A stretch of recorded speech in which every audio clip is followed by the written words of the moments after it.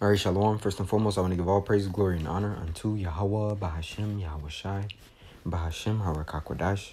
A double honors unto the elders and apostles of GMS Great Millstone, and a sincere Shalom to you, bringing out this word in diligence and in truth. Hey, now, uh, this lesson comes from the inspiration of uh, Elder Apostle uh, Ramlab's live stream that happened today.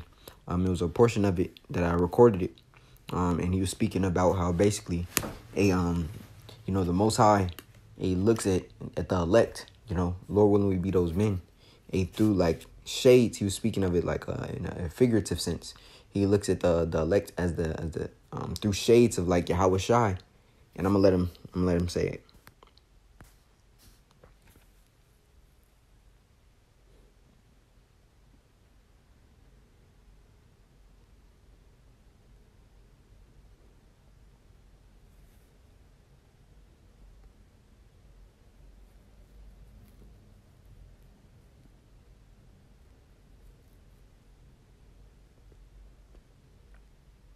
Right, and, and that's the same reason as to why only the elect are going to be saved, man.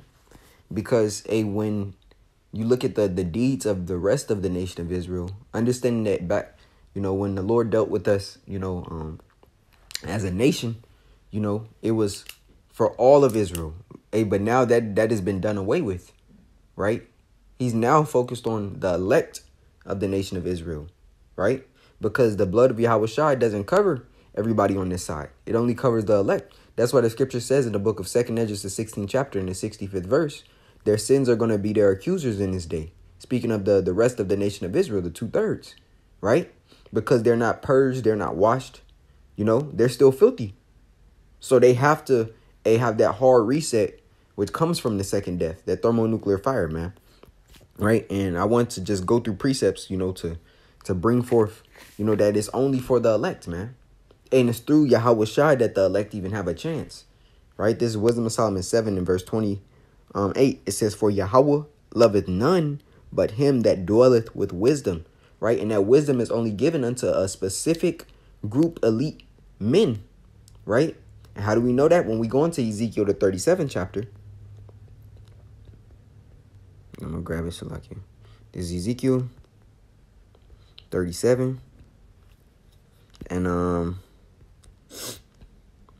here we go.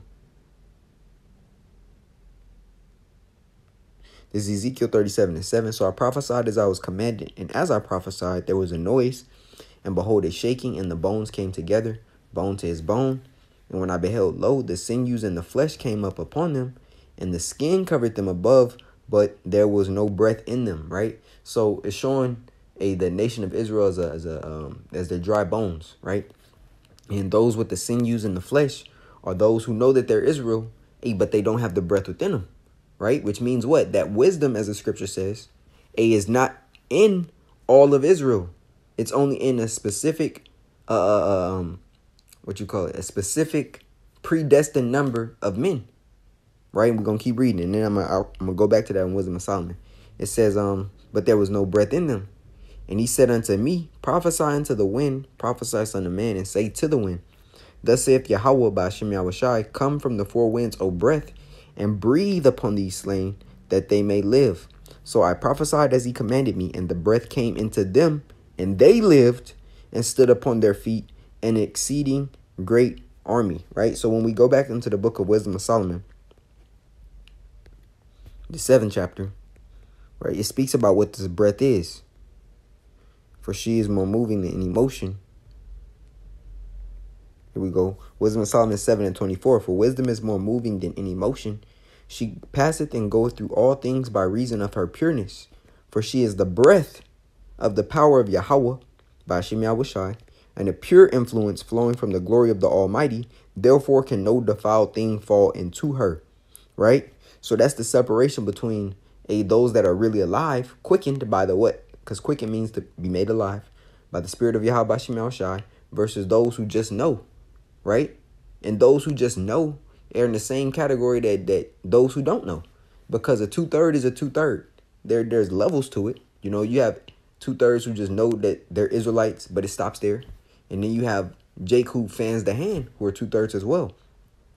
But the Lord specifically is looking upon the the ones he cares about through the lens of Yahawashi, man. Right? That that shades as the as, uh, as apostle, you know, gave the the figurative um, you know, um what you call it, the figurative description of, right? Now let's go more into it because there's more precepts supporting um whom the Lord cares about. And it's not the whole nation. This Romans 9 and verse 27.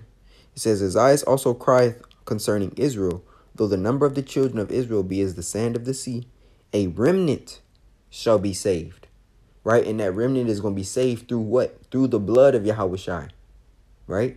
Because the blood covers them. A meaning what? A their sins are, are atoned for. Because Yahawashi was what? The last sacrifice. The perfect sacrifice. The lamb without blemish. Right? So it says, Isaiah also crieth concerning Israel, though the number of the children of Israel be as the sand of the sea, a remnant. Matter of fact, I want to go to the blue letter, go into that word remnant. We know it means the elect, but I just want to see what it says.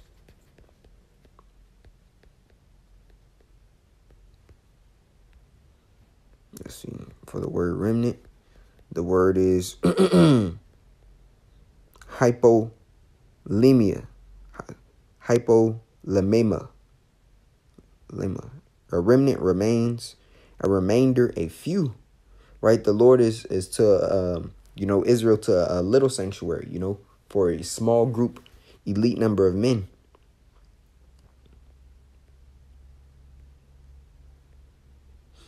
To preserve. Let's see. says where it is equivalent to a few, a small part. Um, let's see if it's any more. Matter of fact, let's do this. Yes, and that comes from what? Isaiah 10 and 22. But I want to see if it's uh, more. Salakia. Yeah, here we go. Romans 11 and 4. It says, um, But what saith the answer of Yahweh unto him? I reserve to myself 7,000 men, a complete number, which is really 144,000, right? And the one third, who have not bowed the knee to the image of Baal. Even so, then, at this present time, also there is a remnant according to the election of grace. And that election is through predestination. That's why uh, in the book of Isaiah it says, Before I formed thee in the belly, I knew thee. Right? Yeah, you were chosen from the foundations of, of the earth. It says, And if by grace, then it is no more of works. Otherwise, grace is no more grace. But if it be of works, then it is no more grace. Otherwise, work is no more work. What then? Israel hath not obtained that which he seeketh for, but the election have obtained it, and the rest were blinded. And thus, whose uh, eyes the Lord are opening and ears whose he's opening, man. Right? Matter of fact, I started. Yeah, that's the point. Um, I know I looked at Isaiah 10 and 22, but I want to read 10 and 20. Right? It says, And it shall come to pass in that day that the remnant of Israel and such as are escaped of the house of Jacob shall no more again stay upon him that smote them, but shall stay upon the Holy One it's like, shall stay upon the Lord Yahweh, the Holy One of Israel, in truth. The remnant shall return, even the remnant of Jacob, unto the mighty power Yahweh. And that's through the, the, the education, you know. I believe the word is educare, you know, to draw from within, right? And we were removed, and now the scripture says, what? Seek him yet 10 times more, right? And that's what's happening from the elect. You know, the rest of the world of Israel you know, are fanning the hand or scoffing, talking shit. Hey, but they don't understand that they're not covered. Because the Lord is going to uh, bring forth pure judgment on them through Yahawashi. That's the separation. You're gonna have judgment from uh from Yahawashi, and then you're gonna have salvation from Yahawashi, man.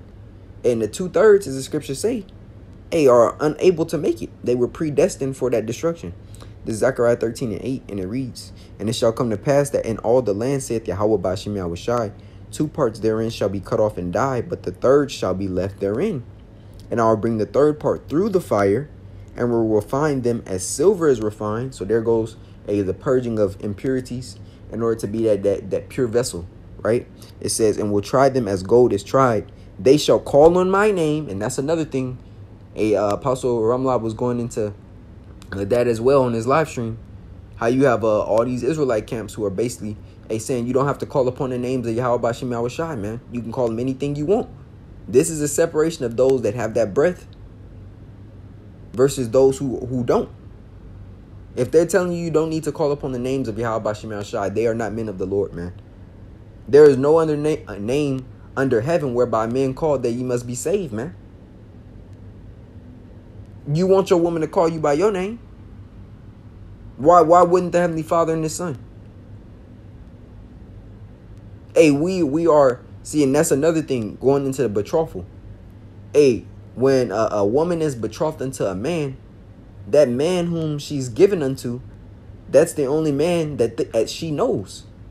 Them calling upon another name shows that they don't know or that they're committing adultery with another man, man.